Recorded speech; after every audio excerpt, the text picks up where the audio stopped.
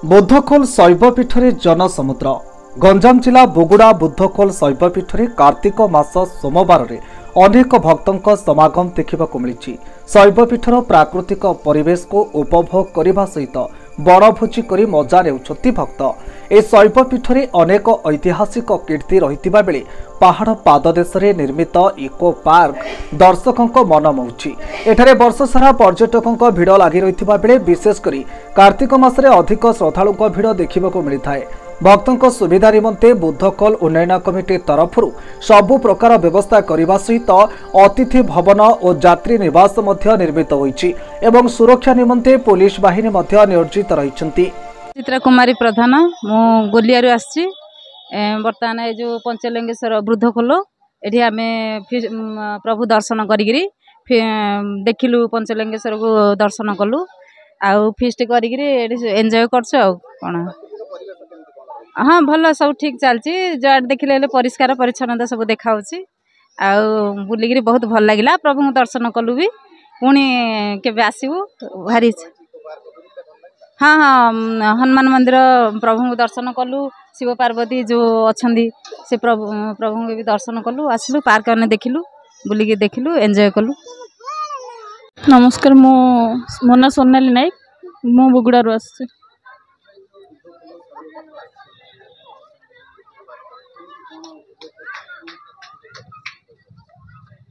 ଭଲ ଲାଗୁଛି ବୁଲିବା ପାଇଁ। ଆଉ ଏଠି କିଛି ଶିଖିବା ପାଇଁ ଅଛି। ଇକୋ ପାର୍କ ହେଇଛି କିଛି ଗଛ ବିଷୟରେ ପିଲାମାନେ ବୁଲିବା ପାଇଁ ବହୁତ କିଛି ଜିନିଷ ଶିଖିବାର ଅଛି। ଆସନ୍ତୁ ଥରେ ଯେଉଁମାନେ ବି ବୁଲିକି ଯାଆନ୍ତୁ।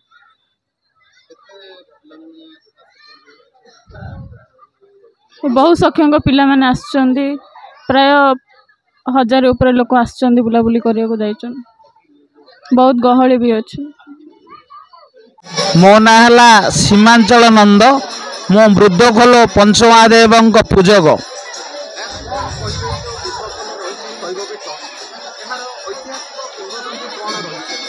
ବୃଦ୍ଧଖୋଲର ଐତିହାସିକ କିମ୍ବଦନ୍ତୀ ହେଲା ଭଞ୍ଜରାଜା ଆଜିକି ହଜାର ହଜାର ବର୍ଷ ତଳେ ଏଇଠି ରାଜୁତି କରୁଥିଲେ। ଆମେ ପୁଣି ପୁରୀରୁ ସାମ୍ବେଦୀ ବ୍ରାହ୍ମଣ। ଏଇଠି ଯେଉଁ ମାଳିମାନେ ରହିଲେ ଭଗବାନଙ୍କର କରୁଣାରୁ ମାଳି ବଂଶ ଏଠି ରହିପାରିଲେ ନାହିଁ। ଭଞ୍ଜରାଜା ଆମର ଜଣେ ପୂର୍ବଜଙ୍କୁ ଆଣି ତାଙ୍କରୁ ଔରସରୁ ଚାରି ଗୋଟି ପୁତ୍ର ଜନ୍ମ ହେଲେ। ଆଜିକି ଆମେ ଶହ ଶହ ବର୍ଷ ଧରି ପଞ୍ଚମହାଦେବଙ୍କୁ ପୂଜା କରି ଆସୁଅଛୁ। ଏ ପଞ୍ଚମହାଦେବଙ୍କର ପାଞ୍ଚ ଗୋଟି ନାମ। ମୁଖ୍ୟ ମନ୍ଦିର ହେଲା ଗଙ୍ଗାଧରେଶ୍ୱରେ ଦ୍ୱିତୀୟ ହେଲେ ମକରେଶ୍ୱରେ ଜଗତେଶ୍ୱରେ ବୁଧେଶ୍ୱରେ ବୁଢ଼େଶ୍ୱରେ। ଆଜିକୁ ହଜାର ହଜାର ବର୍ଷ ଧରି ଆମେ ପୂଜା କରି ଆସୁଥିଲୁ ପାହାଚ ଦେଇ ବର୍ତ୍ତମାନ ସରକାରଙ୍କର ନୀତି ନିୟମ ଅନୁସାରେ ରାଜ୍ୟ ସରକାରଙ୍କର ଏବଂ କେନ୍ଦ୍ର ଏବଂ ଦେବୋତ୍ତର ବିଭାଗଙ୍କର ସାହାଯ୍ୟ କ୍ରମେ ଏକ ରାସ୍ତା ଉପରକୁ ହୋଇଅଛି ଏବଂ ଏ ବୃଦ୍ଧଖୋଲ ଠାରୁ ଅଢ଼େଇ କିଲୋମିଟର ଏକ ସିଦ୍ଧିଗୁମ୍ଫା ଅଛି। ବର୍ତ୍ତମାନ ସିଦ୍ଧିଗୁମ୍ଫାଠାରେ ଗୋଟେ ଅଢ଼େଇ କିଲୋମିଟର ଗୋଟେ ଏବବ ହେବ ଗୋଟେ ପଥର ଗୁମ୍ଫା ସେଠି ମୁନି ଋଷିମାନଙ୍କର ସାଧନ ପୀଠସ୍ଥଳୀ ବୋଲି ଲୋକଙ୍କର କିମ୍ବଦନ୍ତୀ ରହି ଆସିଅଛି। ଏବଂ ଏ ବୃଦ୍ଧଖୋଲ ପାଞ୍ଚଟି ସୋମବାର ମଧ୍ୟରୁ ଚାରୋଟି ସୋମବାର ଆଜି ଶେଷ ସୋମବାର ଏବଂ ପୂର୍ଣ୍ଣମକ ମିଶାଇ ପାଞ୍ଚ ଗୋଟି ପଞ୍ଚମହାଦେବଙ୍କର ଦର୍ଶନ ଏବଂ ପ୍ରାକୃତିକ ସୌନ୍ଦର୍ଯ୍ୟରେ ଭରିପୁରା ବୃଦ୍ଧଖୋଲ।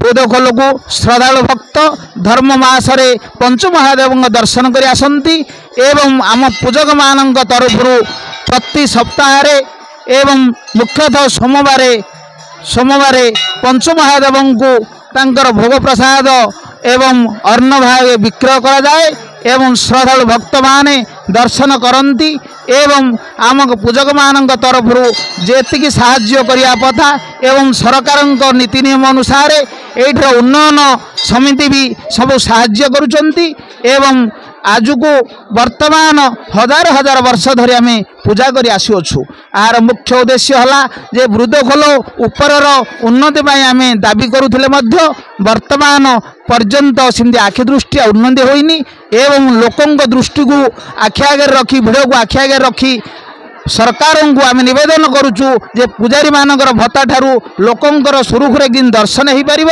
ତା ପ୍ରତି ଦୃଷ୍ଟି ଦେବାକୁ ମୁଁ ଆପଣଙ୍କ ମାଧ୍ୟମରେ ଅନୁରୋଧ କରୁଛି।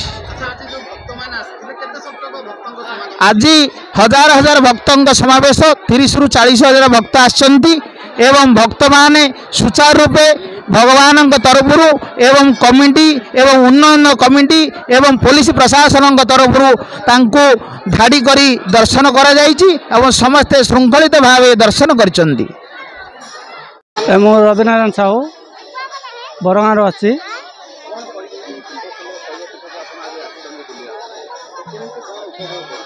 ଏ, ଏଇଟା ଟିକେ ଭଲ ପୀଠ ସବୁ ଲୋକ ରୁଣ୍ଡ ହୁଅନ୍ତି ମହାପ୍ରଭୁଙ୍କ ଦର୍ଶନ କରନ୍ତି ଭଲ ଭାବେ ତ ଏଠି ପ୍ରଶାସନ ବି ଭଲ। ବାକି ପୂଜାଳୀମାନେ ଯେଉଁ ଅଛନ୍ତି ସେବକ କହୁଛନ୍ତି ସେ ବି ଭଲ ଅଛନ୍ତି ଭଲ ସେବା କରୁଛନ୍ତି। ବାକି ନାଇଁ ଏ ଟିକେ ଭଲ ପରିବେଶ ଗଭର୍ଣ୍ଣମେଣ୍ଟ ମଧ୍ୟ ଆ ଉପରେ ଭଲ ଧ୍ୟାନ ଦେଇଛନ୍ତି। ରୋଡ଼ ରାସ୍ତା ଗୁଡ଼ାକ ସେ ବି ଭଲ କରିଦେଇଛନ୍ତି। ଲୋକଙ୍କ ସୁବିଧା ବହୁତ କରିଛନ୍ତି। ବାକି ପୀଠ ତ ଭଲ ଅଛି ପ୍ରସାଦ ବି ମିଳୁଛି। ଲୋକଙ୍କୁ ଯେଉଁ ଆସୁଛନ୍ତି। ତାଙ୍କୁ ଖାଇବା ପାଇଁ ଗଞ୍ଜାମରୁ ପୂର୍ଣ୍ଣଚନ୍ଦ୍ର ପଲାଇଙ୍କ ରିପୋର୍ଟ ଓଡ଼ିଶା ହାଲଚାଲ